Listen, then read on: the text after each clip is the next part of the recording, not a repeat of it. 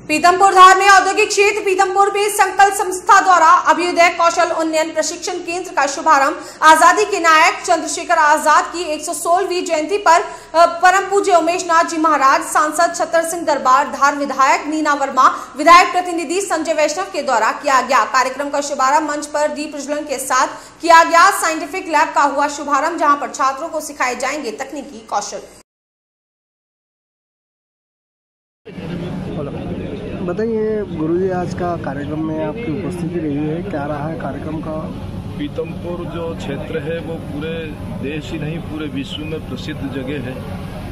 और यहाँ कौशल अभ्युद्यान संस्थान द्वारा अशिक्षित और शिक्षित और निम्न स्तर के परिवारों के जो बालक बालिका हैं, उनके लिए इस संस्थान ने एक बड़ा संकल्प लिया है।